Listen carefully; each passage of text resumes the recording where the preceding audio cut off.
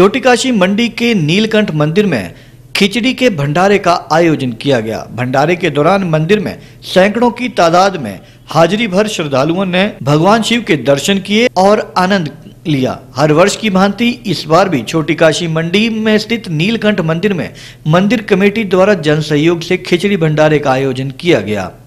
इस दौरान श्रद्धालुओं ने सैकड़ों की तादाद में मंदिर में पहुंचकर भगवान भोलेनाथ के दर्शन किए और मंदिर कमेटी द्वारा लगाए गए खिचड़ी के भंडारे का प्रसाद ग्रहण किया और आनंद लिया। भंडारे के संदर्भ में जानकारी देते हुए मंदिर कमेटी सदस्य दीपक गुलेरिया ने बताया कि मंदिर कमेटी हर साल माघ मास के उपलक्ष्य में जन सहयोग से खिचड़ी भंडारे का आयोजन करती आ रही है। उन्होंने सभी सज्जनों का और भोले शंकर का भक्तों के भंडारे में सहयोग के लिए आभार भी व्यक्त किया।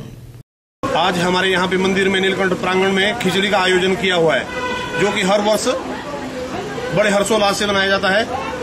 आज जो है महा चावल की खिचड़ी बनाई जाती है जो कि इस महीने में माघ महीने में खिचड़ी बनाई जाती है और लोगों को खिलाया जाता है। आ, मानते हैं कि जो इस महीने में खिचड़ी खाते हैं और जो खिलाते हैं उनको बहुत पुण्य मिलता है।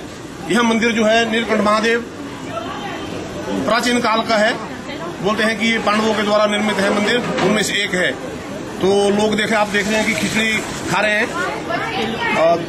डेढ़ सौ क्विंटल की हमने चावल बनाए हुए हैं खिचड़ी के लिए। तो लोग बड़ा आनंद ले रहे हैं।